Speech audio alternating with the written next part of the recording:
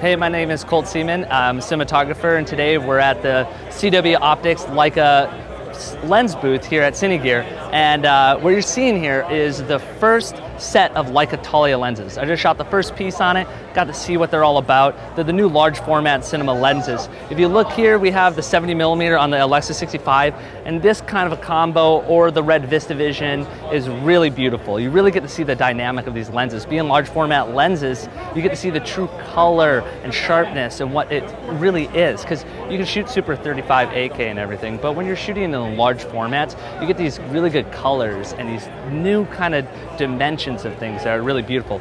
And shooting on larger sensors, you get a lot better depth of field in the wides. And then over here we have the 15 mm Summicron, which is a new lens from them as well, which is really great when you're wanting to shoot widescreen or any kind of a 240 and have kind of an anamorphic kind of feel and look with the depth of field. But with the Leica Thalia lenses that are a large format, you have to try them, get the feel and texture for them. They still have that Leica feel where it's great and warm in the skin tones, but not too overly sharp. Where you get a lot of lenses that are way too sharp, way too, you'll bring it in a post and look at it and be like, wow, too much and you'll have to bring it down, a lot of diffusion, but right out of the gate with the Leica lenses, and especially the Thalias, they have a real good smoothness to the skin tones.